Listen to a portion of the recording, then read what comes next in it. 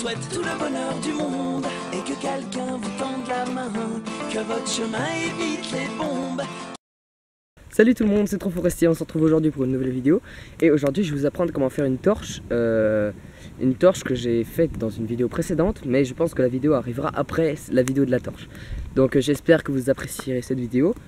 Donc aujourd'hui je vais vous expliquer comment la fabriquer étape après étape donc déjà première étape, je vais la dire tout de suite euh, allumer un feu, un petit feu. Donc pas un trop gros feu, hein, il faut qu'il tienne pendant à peu près euh, même pas 5 minutes voilà. Donc euh, moi je vais le faire tenir pendant plus longtemps parce que j'en ai besoin je vais continuer un peu le camp ici. Malheureusement aujourd'hui il n'y aura pas de vidéo sur le, camp euh, sur ce qu'on va faire aujourd'hui.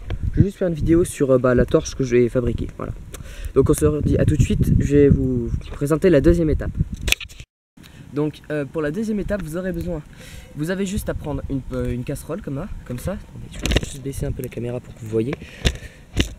Une casserole comme ça. Et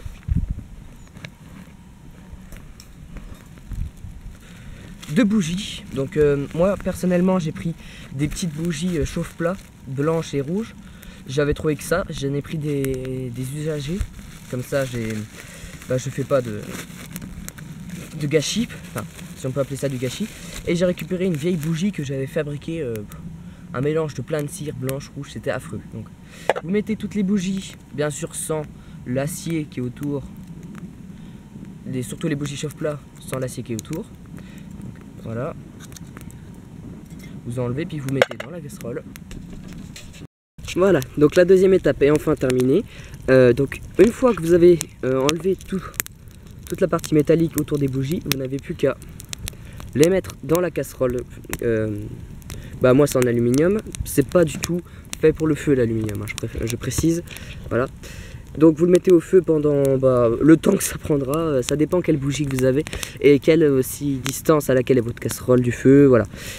Il y a plein de, enfin de, caractéristiques euh, qui pourront modifier le temps de bah, le temps de, que vos bougies fondent et mince il y a des petits morceaux, voyez, faites attention qu'il n'y ait pas de morceaux qui tombent. Après vous en moquez parce que ça ira directement sur la torche, donc il n'y a pas de problème. Donc là, euh, j'ai mis en tout... Euh, attendez, parce qu'il y en a déjà qui sont fondus, je crois, en fait. Euh, ou à peu près une dizaine de bougies.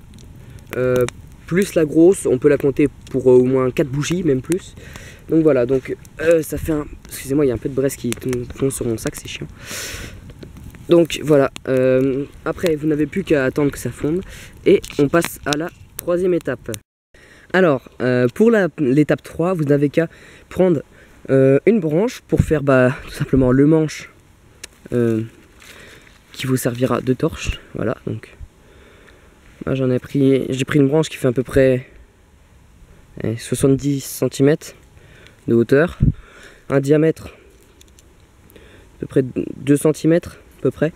Après, c'est pas les tailles qu'il faut prendre chaque fois, mais évitez de prendre des branches trop courtes, sinon euh, vous risquez d'avoir des morceaux de, du tissu, vous tout simplement tomber sur votre bras et bah, ça peut pas faire euh, trop trop de bien, ça vous brûle quoi.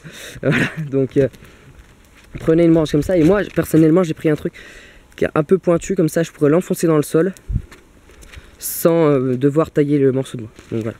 Donc j'ai pris du sapin. Faut pas qu'il soit pourri, il faut qu'il soit quand même solide et pas trop sec non plus parce que sinon euh, ça risque de cramer. Euh, voilà. Après vous pouvez prendre sec aussi. C'est qui ce débile? Oh la trouille que j'ai eu, non mais sérieux. Oh la vache.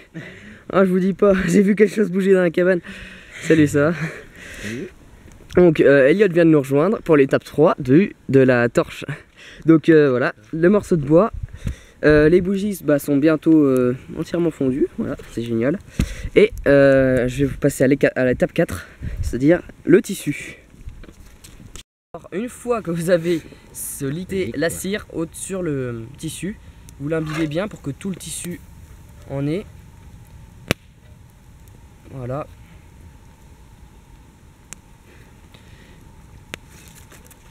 Après, vous, pouvez laisser sécher 2-3 minutes. Donc, il reste des copeaux à l'intérieur. Voilà, c'est indésirable. Et donc, après, votre torche est finie. Vous n'avez plus qu'à la mettre au feu. Vous montrer. Alors. Bon, par contre, c'est hyper lourd. hein. Je, je crois que c'est la plus grosse que j'ai faite. Juste pour vous. Donc, vous avez juste à la mettre au-dessus du feu. Il n'y a pas de feu encore. Si, si. Ah. Ah, merde. Super. Donc, le feu s'éteint. C'est super. Pile au- Voilà. Donc, là. J'en suis à la quatrième étape, oui. Je m'en souviens plus. Voilà. Donc, euh, la torche est euh, presque finie. Donc, après avoir découpé un t-shirt, donc euh, je précise, il faudrait du 100% coton. C'est mieux. Donc, euh, j'ai découpé des grandes lanières. Vous pouvez pas le voir. Machin est totalement détripé. Donc, avec un couteau, de préférence. Et donc vous avez qu'à emballer le t-shirt autour du bâton. Si vous n'avez pas envie de vous casser le hum à découper le t-shirt, vous avez juste à l'emballer autour du bâton. Et après, il faut réussir à coincer le t-shirt bah, avec des branches du bâton ou même de la corde en coton que vous pouvez rajouter par-dessus. Voilà. Donc après avoir fait cette étape, vous n'avez plus qu'à mettre la cire sur le bâton. Donc je vous retrouve tout de suite pour la mettre. Donc une fois que vous avez rallumé le feu, vous avez juste à mettre la torche au-dessus du feu. À la tourner pour que le feu prenne un peu la cire parce que ça s'allume pas comme dans les films en une seule fois d'un coup comme ça. Il faut laisser un peu le temps de ça prenne. Voilà. Et là bon ça a un peu démarré. Il faut laisser le temps au feu de prendre toute la cire. Mais là pour l'instant ça marche à peu près. Donc pour que le feu prenne toute la cire vous avez juste à tourner comme ça autour et remettre dans le feu un coup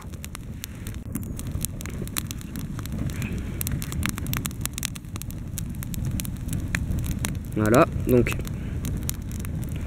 une fois que ça c'est fait, vous avez votre torche, un peu comme dans The Forest, mais en plus violent. Voilà. Donc euh, attention, il faut surtout pas jouer avec le feu, même si c'est ce que je suis en train de faire. Donc vous avez un véritable flambeau au bout des mains. Donc voilà.